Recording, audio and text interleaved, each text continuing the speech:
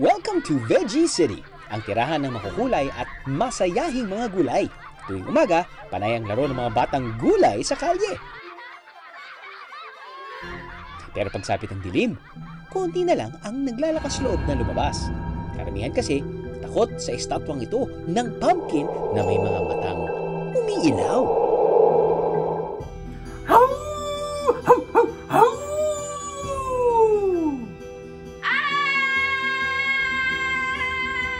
Uy, Pau Pau! Ano naman? Masyado ka naman magugulatin.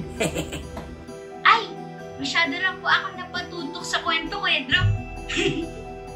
Naku, mabuti pa, ituloy na natin ang kwento.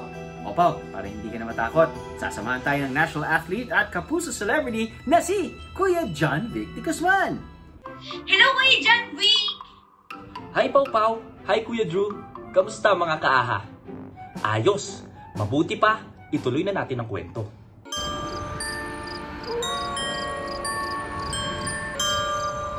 Isang araw sa Veggie City, naglalakad ang tatlong magkakaibigan. Sina Long Talong, Randy Repolyo at Tipo Pumpkin. Grabe, nakakapagod maglaro ng habulan. Mag-isip naman tayo ng ibang laro na chill lang. May naisip ako. Pataasan na lang ng makikitang gusali o puno sa paligid. Ayun, ang gusaling yun. Hmm, mas mataas ang punong yun. Ang sa akin ay... Ito, ang estatwa ni Mr. Pumpkin. Narinig niyo na ba ang kwento ni Mr. Pumpkin? May konti akong ideya. Totoo po bang nakakatakot siya tuwing gabi? Noong unang panahon, laging buhay na buhay at masaya ang mga nakatira sa Veggie City.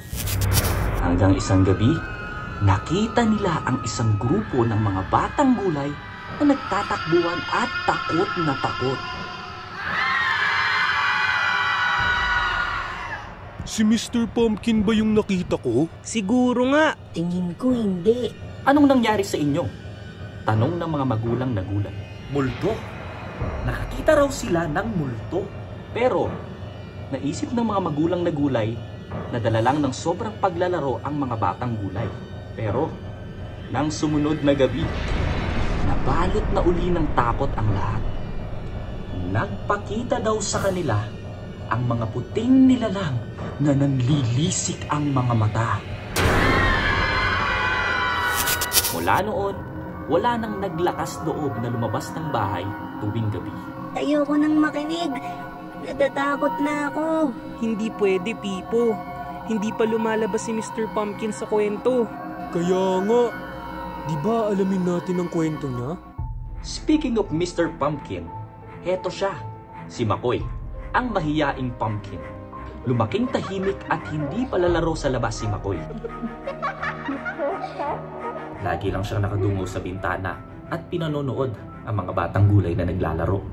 Bakit hindi ka makipaglaro sa kanila, anak? Nahihiya po ako. Baka hindi rin po ako makahabol sa takbuhan. O baka madaganan ko sila sa paglalaro. Nakarelate ako sa problema ni Makoy. Pero kahit na mabagyat ka, pinipilit mo pa rin makahabol. Muntik mo na nga ako mahabol kanina. Buti na lang mabilis ako. Pero mula nang dumating ang mga multo sa Veggie City, tumahimik ang mga kalsada. Nagkaroon ng pagkakataong lumabas ng bahay si Makoy. Wala nang gulay sa labas. Hmm, pwede na siguro ako maglaro? Hindi naman ako lalayo eh. Dito lang sa tapat ng pinto. Tama, maglalaro ako. Wow, ang tapang pala ni Makoy eh. Siyempre, si Mr. Pumpkin yata yan. Ano bang sunod na nangyari? Lumabas nga ng bahay si Makoy. Ito ang unang beses niyang maranasang maglaro sa labas. Masayang masaya siya kahit naglalaro ng mag-isa. Napansin din niya, kahit madilim sa labas, malinaw niyang nakikita ang kapaligiran. Wow! Ang galing! Malinaw pala ang mga mata ko tulad ni na mama at papa.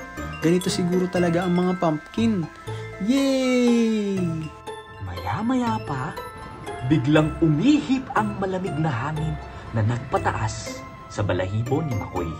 Pakiramdam ni Makoy, may kakaibang nilalang na nakaabang sa likod niya.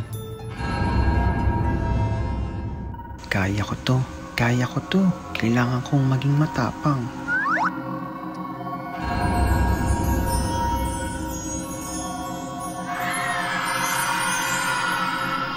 Imbis na matakot, ang mga multo pa ang natakot sa laki ni Makoy at sa lumiliwanag niyang mga mata.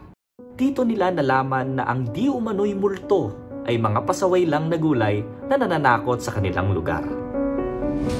Maraming namangha sa tapang na pinakita ni Makoy na humarap sa sinasabing multo.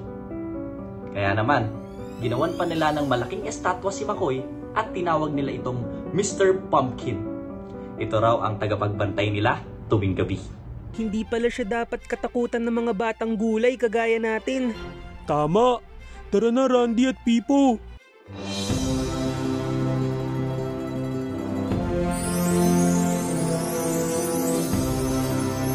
Aha!